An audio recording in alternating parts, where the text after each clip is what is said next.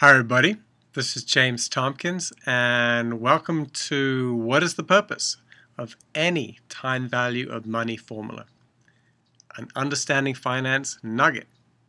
So, why even bother measuring value? Why have a model for measuring value? Well, if you're going to manage value, does it help to be able to measure value? It does, right? I mean, so for example, suppose you go on a diet What's a really useful instrument to have if you go on a diet? A scale, right? Because not only can you figure out whether your diet is working, you know, you're gaining weight or losing weight, but you can even find out how much you're gaining or how much you're losing, so you can see how effective it is.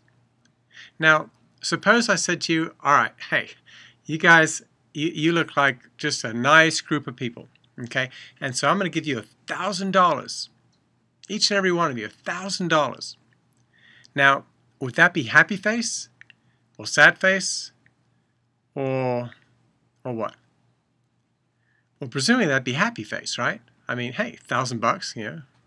Now, what could I add to that that would change that happy face into sad face? No, no conditions. It is a gift. You're not borrowing it. Well, I could say, I'm going to give it to you my will, right? And I'm going to live a long time. So what that illustrates is that, you know, when you're talking about money, it's not good enough just to say how much, like $1,000. But you also it also matters as to when that $1,000 is going to happen.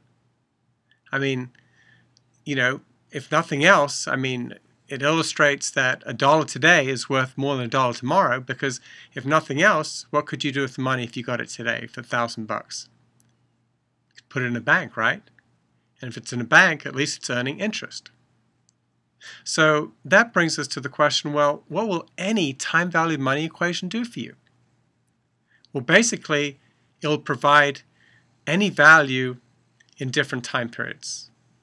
So for example, this is an example of a cash flow timeline diagram. Okay, here, here are the, these things down here, they represent time periods. How, how long are these time periods?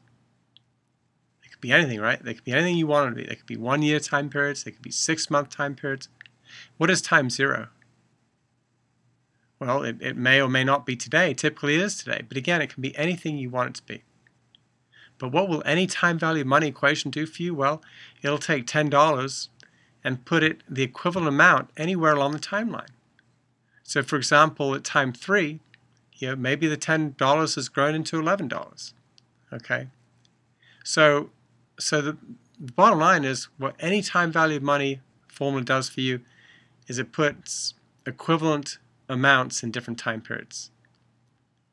Anyway, this has been a Understanding Finance Nugget, and I hope it was helpful. Take care.